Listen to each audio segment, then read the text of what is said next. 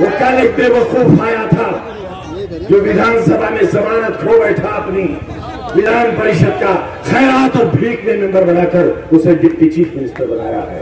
वो अपने ही भगवान की तोहिन करके गया है। उसने कहा है कि राम राज रहेगा, अब्दुल्ला राज नहीं रहेगा। अरे कौन कहता है अब्दुल्ला राज आए अब्दुल्ला को तो जिल्लत और ख्वारी के सिवा कुछ नहीं मिलेगा। तबाही और बर्बादी के सिवा कुछ नहीं मिलेगा। उसे जेल मिलेगी, लेकिन कंस के घर के सिंधी पैदा होंगे।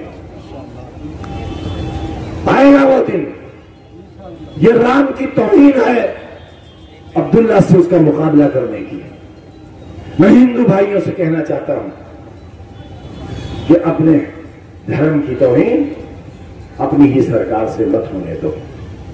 हमारे पैगंबर इस्लाम की तोहीन करने वाले सारे इंतकाम अल्लाह लेगा। और अल्लाह के इंतकाम से बड़ा किसी का इंतकाम नहीं। तो सरल के साथ अल्लाह को छोड़ दो और फिर देखना कि सुअर की शक्लें बन जाएँगी इन लोगों की। देखो, क्या हो रहा है बिहार में? अग्निपथ अग्निपथ ही बन गया। झुलस कर गई हिंदुस्तान की जमहूरियत। कितने करोड़ों नौजवान बेरोजगार है, कोई काम नहीं है। याद होगा आपको, जब मैंने एक लाख सफ़ाई कर्मचारी रखने का ऐलान किया था और पैंसठ हज़ार रखे थे, दूर मत जाइए। इसी शहर के नौजवानों में, हिंदुओं में, मुसलमानों में अगड़ों में, पिछड़ों में और दलितों में एमएससी पास एमए पास, और यहाँ तक के एक रिसर्च स्कॉलर जो एम का स्टूडेंट था, वो यहाँ पर नाला सफ़ाई की नौकरी तलाश करने के लिए लाइन में लगा हुआ था और शायद आज भी वो नौजवान यहाँ पर नाले साफ़ कर रहा हो, जिसके पास एमएससी और एमए की डिग्री है। यह है मुल्क की बदनसीबी। यह है सर लड़ाई हमारी।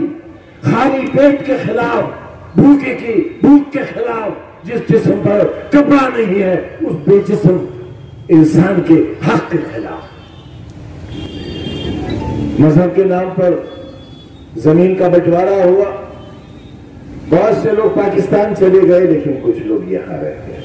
वो कुछ नहीं थे। वो ये असल हिंदुस्तान था। बहुत कम लोग पाकिस्तान गए, लेकिन बंटवारे का जख्म आज भी महसूर बना हुआ है और उसकी तकलीफ़ हम आज भी महसूस करते हैं और उसकी सजा भी मिलती है। हमसे आज घृणा की जाती है। हमारी नकाब उल्टी जाती है। हमारी मीनारों से अल्लाह अकबर की आवाज़ें रोकी जाती हैं। हम किससे मोहब्बत करेंगे और किससे शादी करेंगे? इस पर पाबंदी लगाई जाती है। हम क्या खाएँगे और क्या नहीं खाएँगे?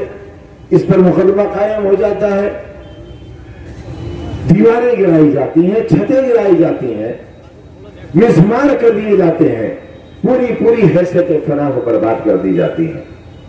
और अगर अपनी शहरियत का हक हासिल करने के लिए भी लोग सड़कों पर निकलते हैं तो उनकी तस्वीरें लगा दी जाती हैं।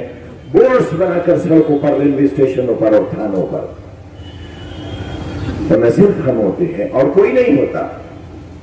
ये इनाम है उस कुर्बानी का जो आज़ादी में हमारे अजदाद ने दी थी। आज जितनी हमसे नफरत है और जितना बड़ा बोझ है हम ज़मीन पर, अगर ये आपको एहसास नहीं हो रहा है तो जब हम जैसे लोग भी नहीं रह जाएँगे, तब ये एहसास होगा आपको। सैकड़ों बरस हुकूमत करने वाले मुगल भी एक काम भी ऐसा नहीं कर सके जो उनकी याद का होता। हाँ काम उन्होंने किए, ताजमहल बनाया तो हमारे किसी काम का नहीं है। दिल्ली का लाल किला बनाया, जिससे हमें कोई फैज हासिल नहीं है। आगरे का किला बनाया, उससे हमारा कोई लेना देना नहीं है। कुतुब मीनार, खुदकुशी के काम आती है। लिहाजा वो भी हमारे यहाँ हराम है उससे भी हमारा कोई लेना देना नहीं है।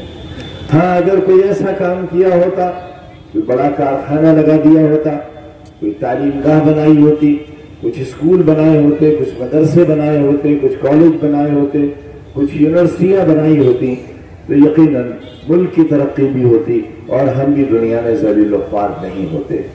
ताजमहल के बजाय अगर उस पैसे से हिंदुस्तान में यूनिवर्सिटियाँ बनी होती तो शायद सौ यूनिवर्सिटियाँ बनाई जा सकती थी उस वक्त। अगर दिल्ली के लाल किले को न बनाया गया होता तो शायद और सौ दो सौ यूनिवर्सिटियाँ बन जाती, इसी तरह आगरे का लाल किला, और वो सारी चीज़ें जिससे मुगल पहचाने जाते हैं। लेकिन आज कोशिश क्या हो रही है? वो सब आपके सामने है। ताजमहल पर वो भी निशाना है, और लाल किले तो को तो बाकायदा किराए पर उठा दिया गया है। वो तो ऐसा है जैसे मेरा और आपका किराए का मकान होता है इस तरह, वो किराए पर उठा हुआ है।